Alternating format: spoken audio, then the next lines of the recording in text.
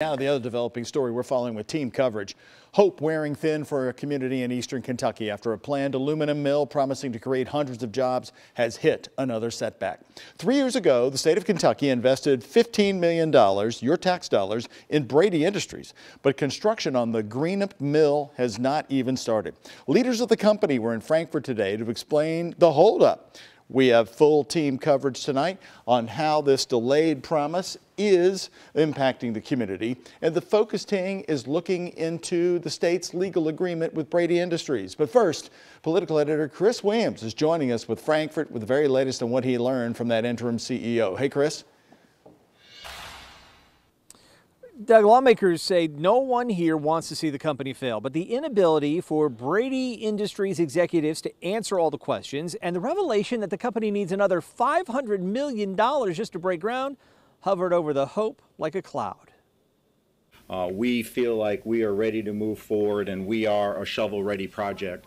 As long as they can find a half billion dollars by year's end.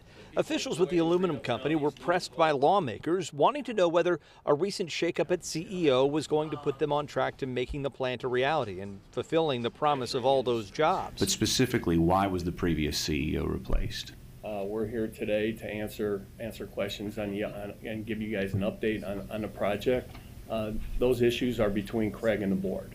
But the executives weren't willing to answer all of the questions, which led to more direct questions. They did say that they have all the plans in place to begin construction, permits are ready, and although there's no electricity to the site, they've planned for that too. My optimism and my hope currently is that it gets built and we get our money back with, with a return on that investment. Um, but certainly we're going to keep the pressure on them to make sure that uh, in the event that there is an issue that uh, the taxpayers are protected.